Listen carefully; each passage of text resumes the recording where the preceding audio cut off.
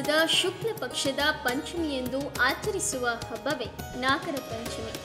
ನಾಗರ ಪಂಚಮಿಯು ಭಾರತದ ಹಲವಾರು ಭಾಗಗಳಲ್ಲಿ ಹಿಂದೂಗಳು ಆಚರಿಸುವ ಒಂದು ವಿಶಿಷ್ಟ ಹಬ್ಬವಾಗಿದೆ.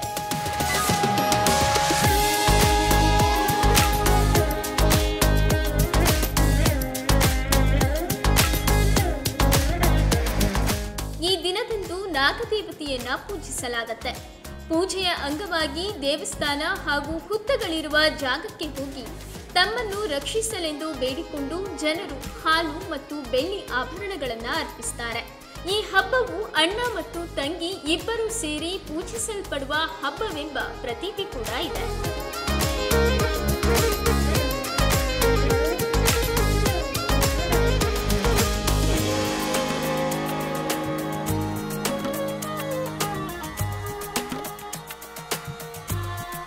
ಎಲ್ಲರಿಗೂ ನಮಸ್ಕಾರ.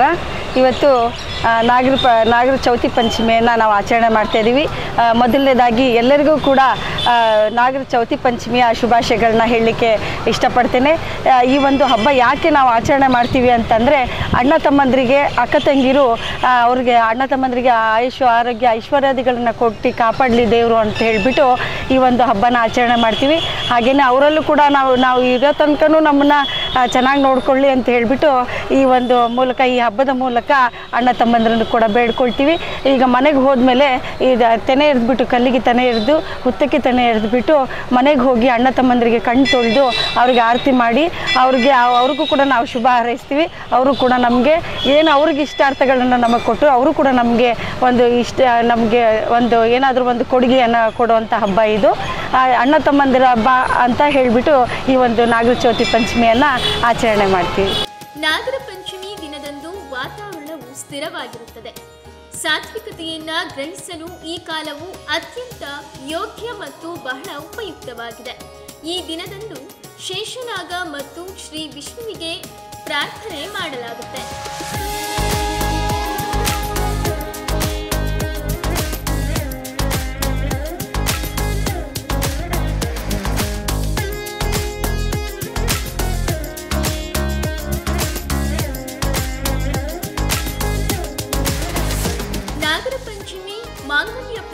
ಹಾಗೂ ಸಂತಾನಪ್ರದ ಎಂಬ ನಂಬಿಕೆ ಇದೆ. ಉತ್ತರ ಕರ್ನಾಟಕದಲ್ಲಿ ನಾಗರ ಪಂಚಮಿ ವಿಶೇಷತೆಗಳಿಂದ ಕೂಡಿರತ್ತೆ. ನಾಗರ ಪಂಚಮಿ ಬಂತು, ಅಣ್ಣ ಬರುತ್ತಾನೆ ಕರಿಯಾಕೆ ಕರಿ ಸೀರೆ ಉಡಿಸಾಕೆ ಎಂಬ ಜಾನಪದ ಹಾಡು ಹಬ್ಬದ ವಿಶೇಷತೆಯನ್ನ ಸಾರತ್ತೆ. ತವರಿಗೆ ಹೆಣ್ಣು ಮಕ್ಕಳನ್ನ ಆಹ್ವಾನಿಸಿ ಉಡುಗೊರೆ ನೀಡಿ ಗೌರವಿಸಲಾಗುತ್ತೆ.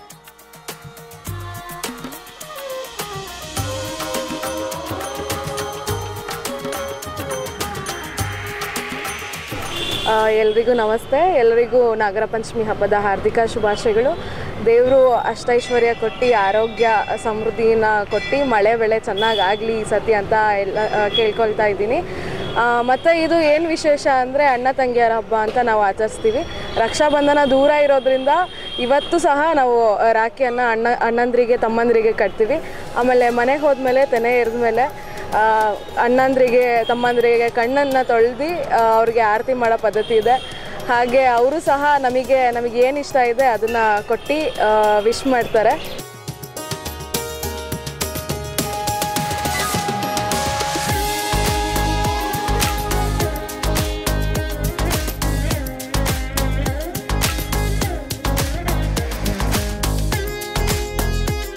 ಕರ್ನಾಟಕದಾದ್ಯಂತ ವಿವಿಧ ಭಾಗಗಳಲ್ಲಿ ವಿಭಿನ್ನ ರೀತಿಯಲ್ಲಿ ನಾಗರ ಪಂಚಮಿಯನ್ನ ಆಚರಿಸಲಾಗುತ್ತೆ.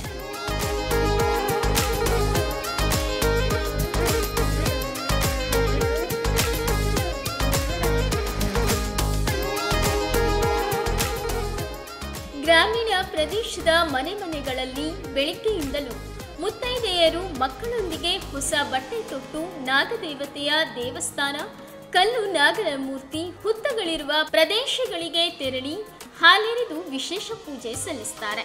ಪಂಚಮಿ ವಿಶೇಷವಾಗಿ ಕಡಲೆ, ಗೋಧಿ, ಶೇಂಗಾ, ರವೆ ಹೀಗೆ ನಾನಾ ಥರದ ಉಂಡೆಗಳು, ಕಡುಬುಗಳನ್ನು ತಯಾರಿಸಿ ನೈವೇದ್ಯ ಮಾಡಿ ತಿಂದು ಸಂಭ್ರಮಿಸ್ತಾರೆ. ಹೀಗೆ ಪ್ರತಿ ಹಬ್ಬಗಳು ಕೂಡ ಸಂಭ್ರಮಿಸುವ ಒಂದು ವಿಶೇಷ ವಾತಾವರಣವನ್ನ ಸೃಷ್ಟಿಸುತ್ತವೆ.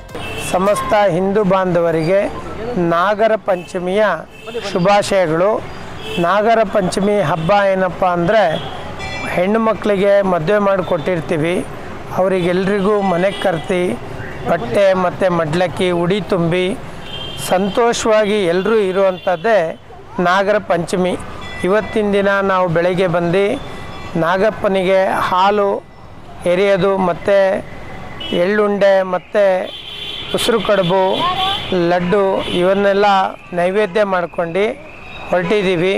ನಾಗಪ್ಪ ಎಲ್ಲರಿಗೂ ಸುಖ ಸಂಪತ್ತು, ಐಷ ಆರೋಗ್ಯ ಐಶ್ವರ್ಯಗಳನ್ನು ಕೊಡಲಿ ಅಂತೇಳಿ ದೇವರಲ್ಲಿ ಬೇಡ್ಕೊಂಡು ನಾವು ಹೊರಡ್ತಾ ಇದ್ದೀವಿ. ಎಲ್ರಿಗೂ ನಾಗರ ಪಂಚಮಿಯ ಶುಭಾಶಯಗಳು.